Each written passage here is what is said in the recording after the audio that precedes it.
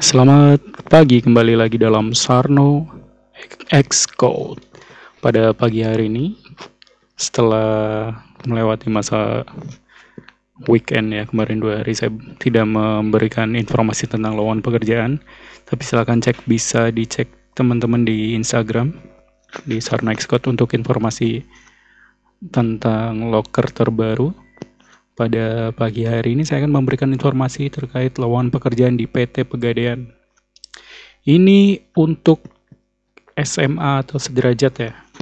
Sebagai tenaga pendukung kasir, kas, kasir di kantor wilayah 9 Jakarta 2.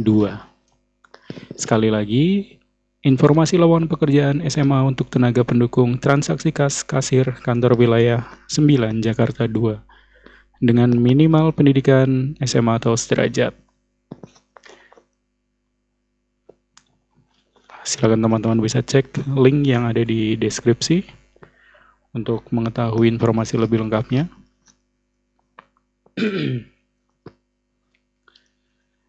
ya. Selanjutnya saya akan memberikan penjelasannya. Jadi PT Pegadaian itu merupakan BUMN ya. Jadi uh, membutuhkan tenaga pendukung transaksi kas kasir kantor wilayah 9 Jakarta 2. Dengan job desk-nya melaksanakan pekerjaan penerimaan, perhitungan, penghitungan dan pembayaran serta melaksanakan tugas administrasi keuangan di unit kerja sesuai dengan kewenangan dan SOP. Melakukan pencatatan dan administrasi atas penerimaan serta pengeluaran uang dan non-tunai yang dikelola sesuai dengan SOP, mengarsipkan dokumen dan bukti transaksi lainnya, menyusun laporan sesuai ruang lingkup dan bidang tugasnya, melaksanakan Business Continuity Plan BCB, BCP sesuai kebijakan dari unit kerja terkait, melakukan cross-selling terhadap produk pegadaian, menyelesaikan tugas-tugas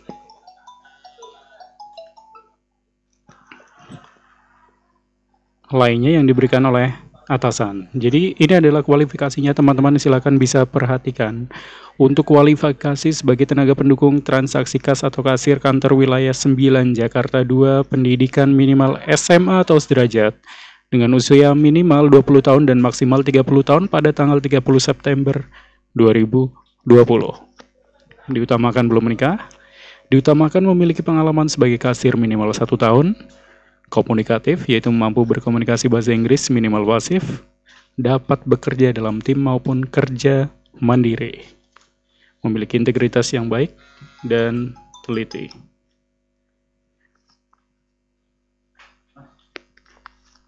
Mampu mengoperasikan komputer menggunakan Microsoft Office. Berbadan sehat, bersedia ditempatkan di seluruh wilayah kerja kantor wilayah 9 Jakarta 2 sebagaimana pada tercantum pada poin 10. Jadi ini diperhatikan nanti buat teman-teman. Penempatannya itu diutamakan putra-putri daerah yang berasal dari wilayah DKI Jakarta dan Tangerang dengan pembagian area sebagai berikut. Jadi ini adalah area penempatan untuk teman-teman yang mendaftar sebagai tenaga pendukung transaksi kas atau kasir. Area Cirende, area Kalideres, area Kebayoran Baru, area Tangerang, dan area Tanjung Priok. Sekali lagi, area Cirende, area Kalideres, area Kebayoran Baru, area Tangerang, dan area Tanjung Priok. Nantinya teman-teman akan ditempatkan di lima lokasi ini ya. Ini melombakan wilayah kerja kantor wilayah 9 Jakarta 2. Dengan persyaratan dokumen administrasi adalah sebagai berikut. Surat lamaran, CV, kopi jasa, kopi KTP, foto 4x6 sebanyak satu lembar, serta surat keterangan sehat dan bebas narkoba dari dokter atau rumah sakit setempat diserahkan pada saat kandidat dinyatakan lulus pada tahap interview. Lalu fotokopi surat SKCK yang masih berlaku. Keuntungan, benefits, jenjang karir di perusahaan BUMN, gaji pokok dan tunjangan, asuransi kesehatan dan BPJS serta diklat kompetensi atau training. Silakan teman-teman yang bisa yang memenuhi kualifikasi sebagai berikut. Bisa mendaftar langsung klik di apply for this job. Silakan cek link yang ada di deskripsi. setelah itu silakan isi nama uh, lengkap, alamat email yang uh, aktif, tempat tanggal lahir, dan data-data semuanya dimasukkan. Foto diupload di sini, nomor KTP, fotokopi KTP, foto KTP, dan profil-profilnya semuanya silakan dimasukkan. Sampai bawah. Setelah itu submit application. Sekali lagi bahwa lowongan ini ditujukan untuk teman-teman dengan pendidikan minimal SMA atau sederajat dengan usia maksimal 30 tahun minimal 20 tahun dan belum menikah ya. Diutamakan belum menikah. Ini sebagai tenaga pendukung transaksi kas kasir kantor wilayah 9 Jakarta 2 yang kemudian akan ditempatkan di area Cirende area Kalideres, area Kebayoran Baru, area Tangerang, dan area Tanjung Priok.